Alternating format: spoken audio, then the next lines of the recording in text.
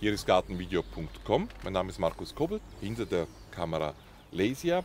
Und heute geht es um die Wurmkiste von wurmwelten.de. Wir sind hier in dieser wunderschönen Umgebung des Schlosses Ippenburg am Sommerfestival und wollen uns jetzt doch diesem etwas niederen Thema abgeben. Und Jasper erklärt uns, dass es eben nicht so niedrig ist, hoffe ich wenigstens. Jasper, die Wurmkiste, wie funktioniert sie?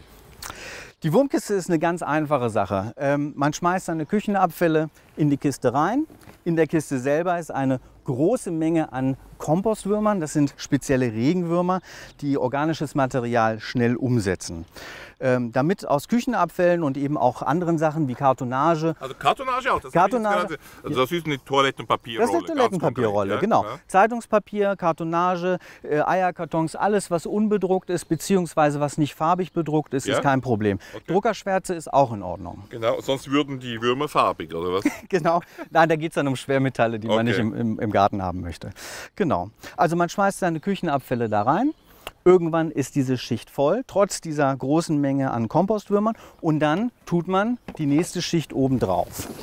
Frage, Jasper. Ja. Essen diese Würmer da, das jetzt wirklich dieses Material? Ist das, wo haben die die Zähne? Wie können sie so einen Salat essen? Das hast du gut erkannt. So ein Wurm hat nämlich keine Zähne. Ein Wurm kriecht erstmal über äh, die neuen Abfälle hinüber, verteilt damit seine Bakterien. Ja. Die Bakterien zersetzen dann die Zellen. Und wenig später, beziehungsweise ein paar Tage später, kommt der Wurm wieder und schlürft diese Suppe aus Bakterien und Nährstoffen Dann auf. schmeckt es ihm. Dann schmeckt es ihm. Dann okay. ist es mundgerecht. Und wie geht es jetzt weiter?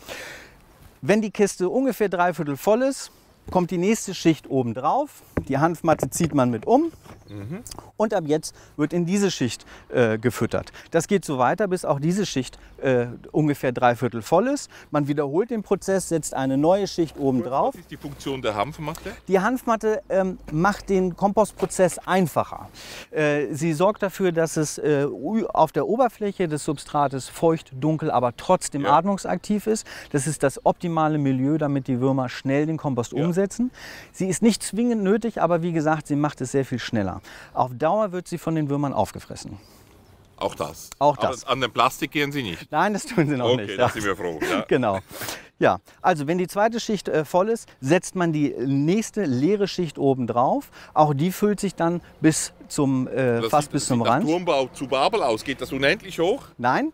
Wenn die dritte Schicht voll ist, okay. dann ist in der unteren Schicht nur noch reiner Wurmhumus. Das sieht dann ah, so ja. aus. Warum ist das so körnig? Ja, das ist, weil es mehrmals von den Würmern aufgefressen wurde. Es ja. ging mehrmals durch einen Wurm ja. durch. Und man sieht auch, sie schaffen nicht hundertprozentig alles. Das hier sind zum Beispiel Avocadoschalen und auch Eierschalen werden fast äh, unbearbeitet äh, hinterlassen.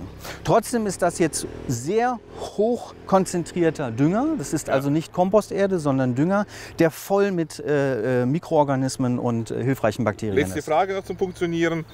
Filtere ich das raus oder gebe ich das jetzt auch in den Garten oder in die Töpfe rein? Man kann es mit dem Kompostsieb ausfiltern, aber äh, es ist kein Problem, ähm, das direkt zu verarbeiten. Auch, auch, die Eierschalen. Herzlichen Dank, Jasper, und bis zum nächsten Wurm. hm, wie geht's weiter? Aber ich kann Ihnen helfen.